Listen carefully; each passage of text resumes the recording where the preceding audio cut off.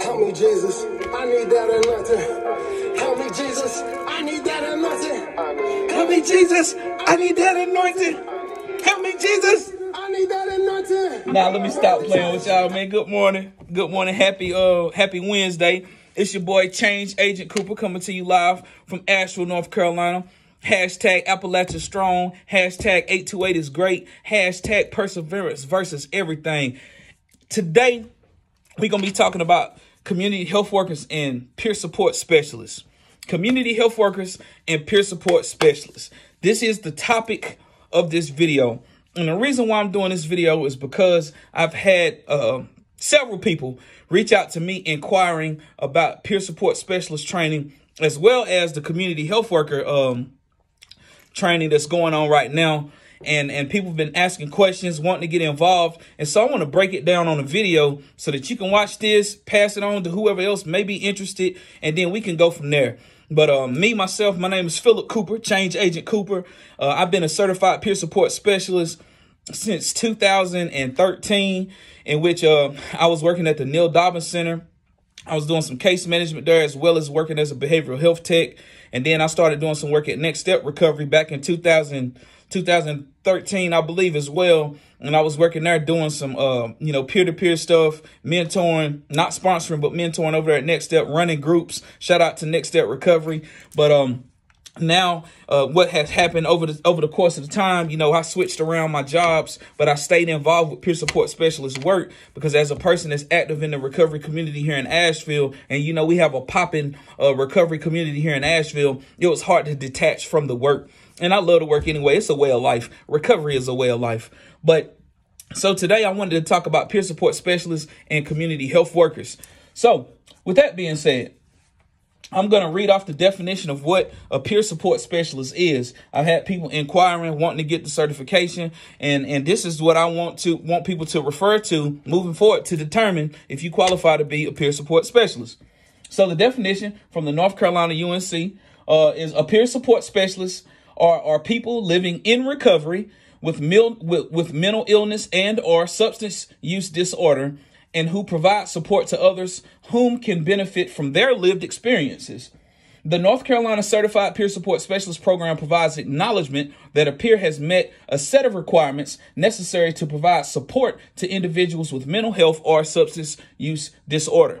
So, for those who are inquiring about being a peer support specialist, it says peer support specialists are people living in recovery with mental illness and or substance use disorder who are currently in recovery. If you meet that criteria, then the peer support is, is along the lines of something that you can do. There are peer support jobs that are open at MAHEC, RHA, uh, first at Blue Ridge has some some positions open. Um, I know Family Prayers, even WNCAP I heard had what we're hiring peer support specialists now. Sunrise, you already know peer led agencies like Sunrise and Umoja have like the peer peer led uh, agencies. So um, there's a peer support specialist jobs open across the county. Peer support is popping. The question is, uh, you know, are you a person with mental illness and or substance use disorder who is currently in recovery? That's the question that you want to ask yourself before you go and become a peer support specialist. As it relates to community health worker. So this is a new thing, right? And I'm going to try not to talk too, too much. I'm going to try to keep this video under 12 minutes, but I got to give it to y'all. So um, I first heard about community health workers um, because I had presented at the statewide reentry council collaborative in uh, Raleigh. And so I met a guy named Dr. Evan Ashkin, and he runs a program called FIT, Formerly Incarcerated Transition Program. And it's it's an amazing program. They're doing it right up there. They have it in Durham, they have it in Mecklenburg, they have it in Orange, they have it in Forsyth. They're doing some great work with the Formerly Incarcerated Transition Program. They connect with people before they get out of prison, welcome them home, make sure they get connected to health care, mental health, all the things, housing, all the things, but they they have community health workers. Yeah. And that's when I first heard about community health workers. And I was like, what's this about? I want to learn more. And so when I got back home, come to find out, community health workers were actually already doing some work in Buncombe County, but they just wasn't doing uh, prison reentry work. So at that point in time, I hooked up with my sister uh Joanna, you know, over there at ABIPA, and, and you know, and they got community health workers who are out in the community doing some amazing things. So it was at that point in time that I started being more involved in the community health worker conversation. So now I'm even in the community health worker class. I reached out to several folks that was doing the work to see if they wanted to do the training. Some people enrolled, some people didn't have time to. Either way it goes, hopefully another training is going to be offered at AB Tech. Y'all pray. We're trying to make sure it gets offered at AB Tech this time around in the spring. But the community health worker training that I'm doing is online at Catawba Valley Community College learning some great things in there. It's a lot of things I already know because I've done a lot of these trainings like peer support, human service, uh, human services technologies, uh, two year degree at AB Tech. So a lot of these things I already knew, but some of what I've learned that is new uh, uh, uh right now, it's talking about like NC Cares uh, 360, which is a platform where all resources are uploaded. Uh, somebody, listen, that, that is dope. Shout out to Dion Greenlee. She's doing some stuff connecting organizations. If you don't know what NC Care 360 is, I highly recommend that you inquire about it for your organization so that you can be uploaded onto that platform. It is a way for all resources in North Carolina are being uploaded. So you ain't got to worry about a resource list anymore. You can go on there. It's, it's amazing. But anyway, let me read off the definition of a community health worker. A community health worker is a frontline public health worker who is a trusted member of and or has an unusually close understanding of the community served. I'm going to repeat that. A frontline public health worker who is a trusted member of and or has an unusually close understanding of the community served.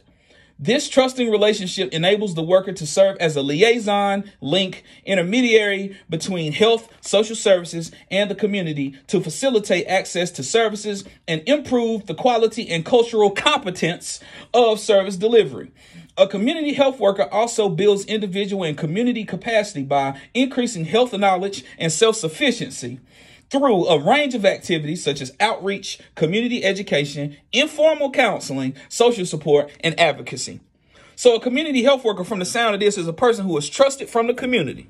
It is a person who is trusted from the community that it's serving or has an unusually close connection with the community that it's serving. First and foremost, that's that's one of the qualifications for a community community health worker. It also is culturally competent services.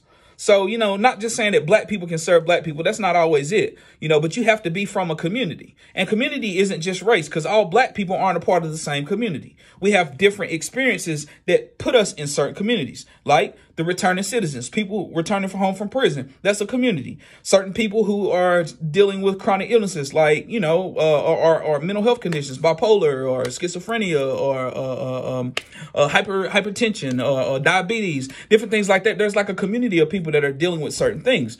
And so a person who is coming from that community has a has has a deep understanding of what it is that people in that community have to go through. And they come in and as it says, y'all y'all see what it says, a community health worker builds individual and community capacity by increasing health knowledge and self-sufficiency through a range of activities such as outreach, community education, informal counseling, and social support. So these people have to be able to go into that community and be trusted. This is a trusted member of that community.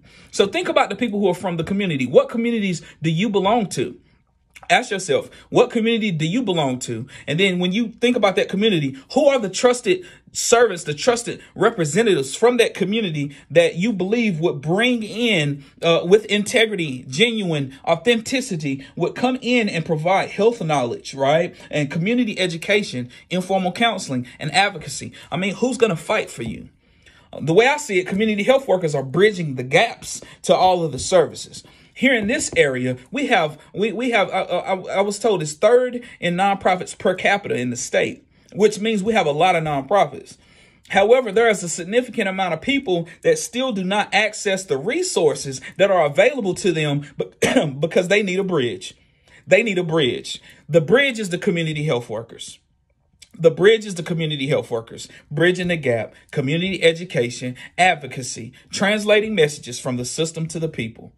That's what community health worker is. So I did this video because I wanted to differentiate the two because there's there's been some people that have came to me talking about becoming peer supports. And and in my mind i was like wow i didn't even know you had mental health or substance use disorder. I didn't even know you was in recovery you know? And i'm not the recovery uh, uh, guru. I think i am sometimes but i'm not the all-knowing recovery person. So i don't know if people go to recovery meetings support groups sponsoring people getting mentored or have a recovery coach. I don't i don't know that. That's not my business to be honest if they're not in my circle. But if they are in my circle it's all of my business because accountability is how we operate operate on my team. But uh, if a person isn't in recovery and they just want to serve the community and they want to use their lived experience to serve the community, I say they should be a, a, a community health worker. So peer support ain't for everybody. Community health worker can be, depending upon a person's ability uh, uh, uh to connect with the people from the community that they represent and also being a trusted member of the community that they represent. Because in order for us to provide uh, services to a people, those people have to trust us, or we'll just be chasing our tail the way things have been going in the past. And we all know, you know, uh, um, from experience, not not we all, but s- several of us know from experience that just having a having a service offered in an area don't necessarily mean that all people are going to benefit from the service. And we know that, and we could look at data from a lot of these places to see, you know, who they're really serving and who's not getting served. But that's not the topic of conversation right now. The topic of conversation is peer support specialists and community health workers. I hope I gave a good layout of the two. Um, like I said, I had one of my homeboys reach out to me. He was like, "What's this community health worker thing you keep talking about?" And I told him about it. And then I had another person inquire about it who is currently a certified peer support specialist. And and and then when I broke it down for her, she was like, "Yeah, yeah, yeah. Let me get in the next class." And so now I'm making this YouTube video so that people can refer to this whenever they want to learn more about peer support specialists and community health workers. Now I'm gonna end with this. A person can be a peer support specialist and a community health worker. But in order for them to do that, that person has to, let's go back to the definition on the North Carolina school part. It said a peer support specialist is a person living in recovery with mental illness and or substance use disorder. So a person can be a community health worker and a peer support specialist, but a person cannot necessarily be a community health worker. A, a person can be a community health worker without being a peer support specialist. A peer support specialist, a person that is in recovery from mental illness and substance use disorder, can be a community health worker, right? But a community health worker can still be a community health worker even if they're not in recovery because that's not one of the qualifications for community health worker. I hope this made sense. My name is Change Agent Cooper. I am not the answer, but I'm for damn sure the alternative. Y'all be blessed.